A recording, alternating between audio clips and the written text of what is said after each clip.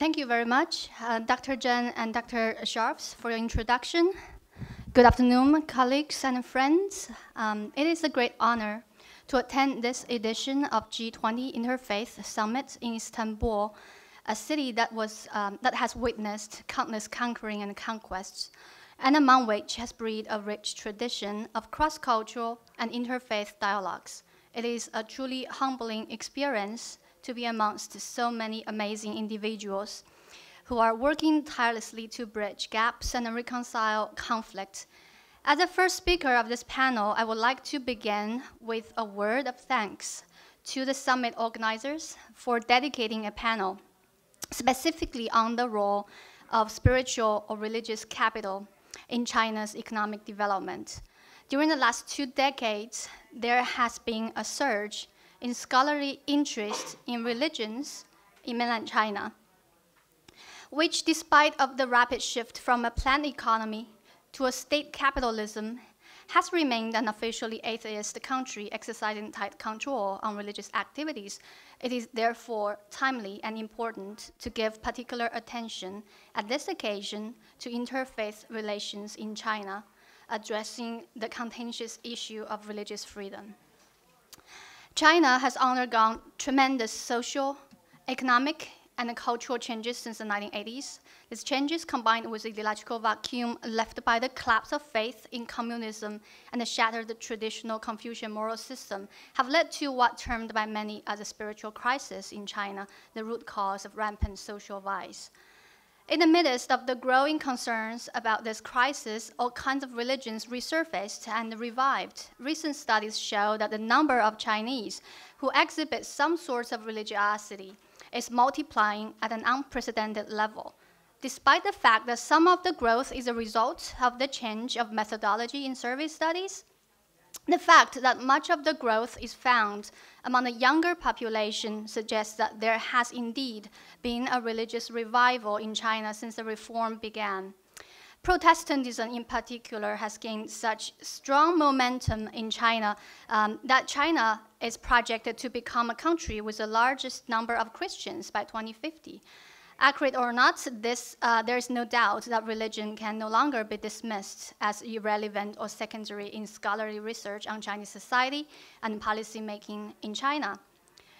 It is within this context that I will turn to my study on the role of religion in establishing, maintaining, and developing social trust in business activities, linking the two seemingly contradictory variables together to show that religion is beneficial rather than destructive to China's economic development. Before moving forward, I think it is important to explain why I say that religion and business seem to contradict each other, at least in the Chinese context. The traditional Chinese society is based on primarily um, agrarian economy in which merchants and traders were despised because frequent travels would cause instability in the family life, and their activities were deemed as a threat to morality and social order. Business is perceived or understood as worldly activity devoid of sacred meaning. A businessman or woman seeking to minimize the cost and maximize the profits may be perceived as cunning, greedy, deceiving, manipulative. Right? A religious person, in contrast, is supposed to pursue a holy and spiritual life that does not focus on immediate reward in this life.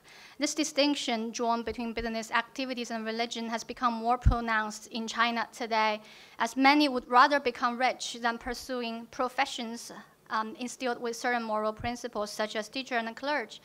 Self centered rational calculation typical in business certainly does not seem to be compatible with, an, with altruistic, irrational decisions typical in religion. As China con continues to liberalize its market to maintain sociability, religion needs to be brought in dialogue with business so that business activities are no longer meaningless and business people heedless. Now, since I published my book on immigrant Muslims in post 9 11 American society back in 2014, I have embarked on a new project uh, exploring the transnational Chinese Muslim business networks between China's booming economic um, business centers along the southeast coast and then trade hubs in the Arabian Gulf, particularly the United Arab Emirates and its, its rising global city, Dubai, which is greatly facilitated by my location right now. So this project builds on my earlier study on Chinese Muslims' attitude toward business, published in Social Compass back in 2010. In the past several years, I have met and interviewed many Muslim business people, entrepreneurs, scholars, clergies, and even cutters in Beijing, Zhengzhou, Guangzhou, Yiwu, Xi'an, Yinchuan, and Dubai, just to give you a visual image of the places that I've um, conducted my research, just showing your map.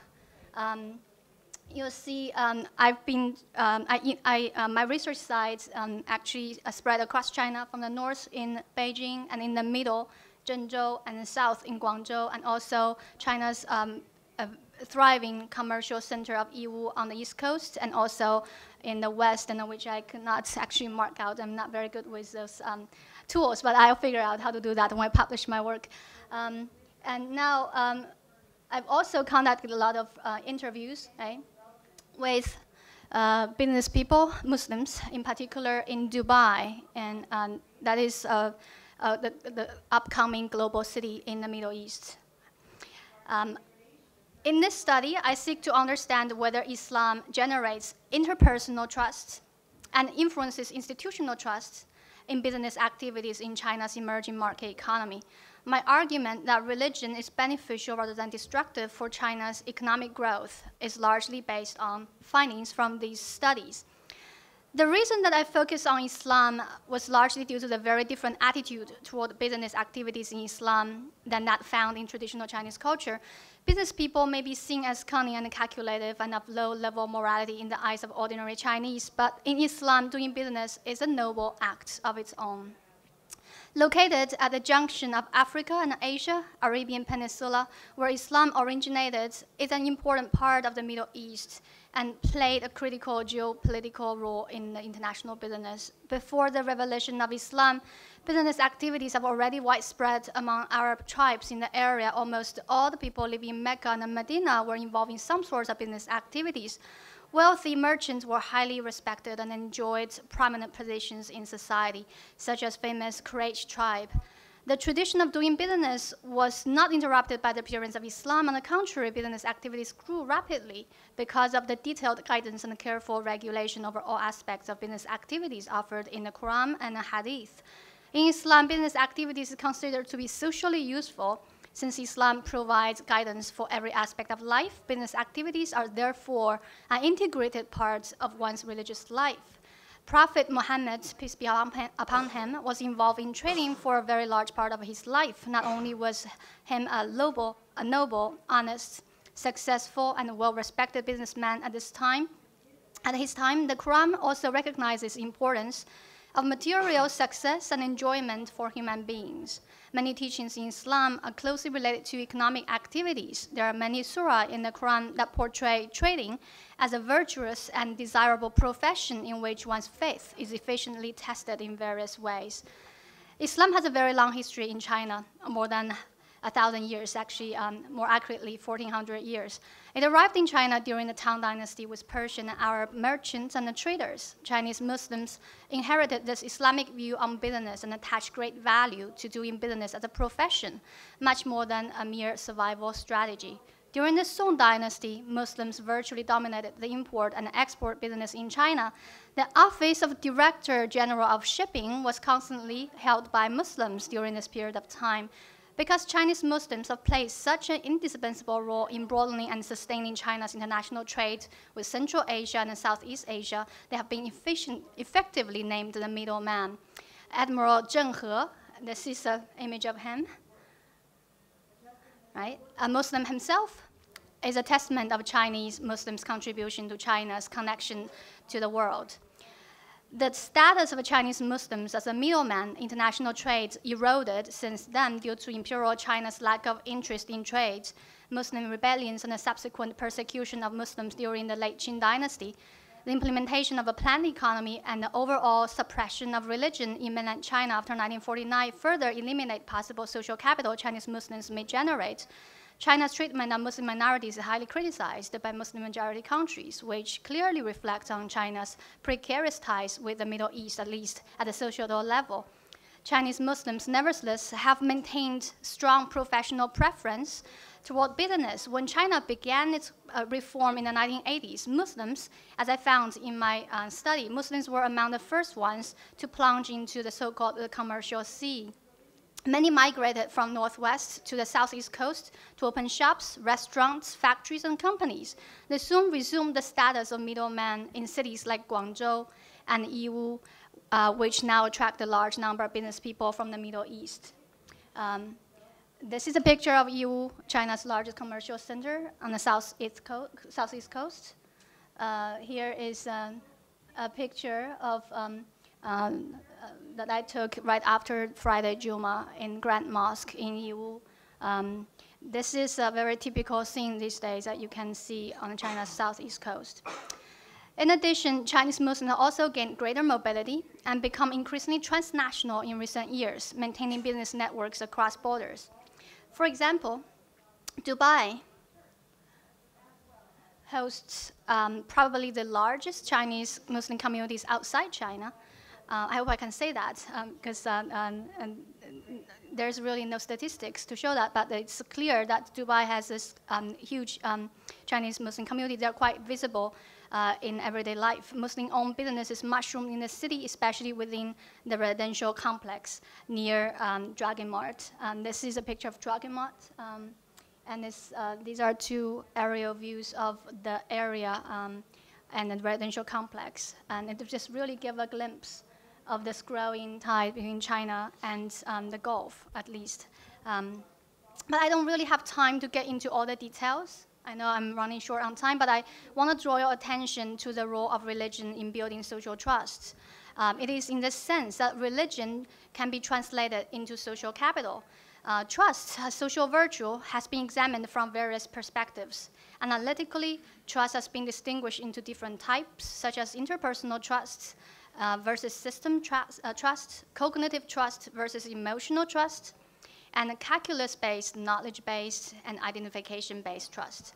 Trust is not only important to civil society and democracy as suggested by sociologists and political scientists, um, it is also a very essential component in business relations that increases production efficiency and reduces transaction costs.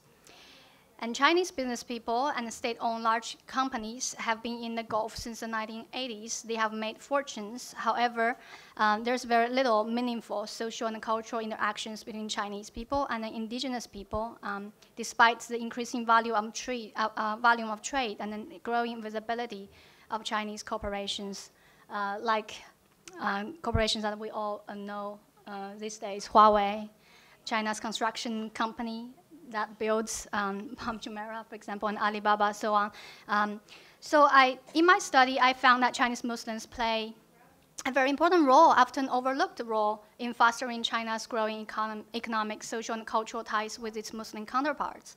Um, even though um, uh, the large companies and then even uh, Chinese government tend to downplay that level of connection, and this has been observed on the societal level um, the Muslims certainly gained more trust um, in their social life, in everyday life, in businesses, and their business flourished. But the, their number is still quite small. Um, but what I'm trying to make, um, the point I'm trying to make here is that um, their religious identity and religiosity are part and parcel of social capital.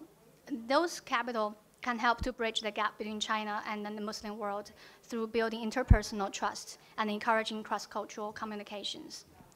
Um, uh, how much time do I have? Okay. Two minutes. Okay, that's that, that's great. Um, certainly, um, Chinese Muslims only constitute about probably just 10% of Chinese expatriates in um, the country that I conducted my research, and I'm still uh, working um, to uh, collect more data um, and on both sides of the world, partly in China and partly in the Middle East. And then they also, uh, I also noticed that Muslims tend to concentrate in small to medium businesses. May, it might be an exaggeration to argue that Muslims now all of a sudden become very important um, to the Chinese government um, Belt and Road Initiative. Right?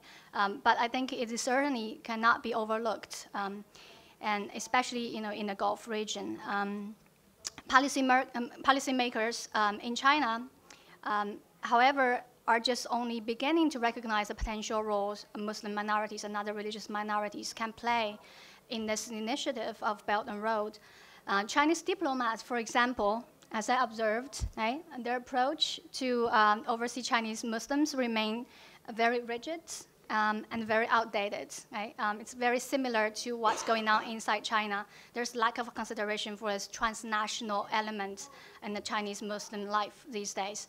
Um, as I conclude my presentation, um, I'd again like to emphasize that um, a liberal religious policy that truly respects the freedom of religion is beneficial, not destructive to China's economic development. And with that, I conclude my presentation. Thank you very much.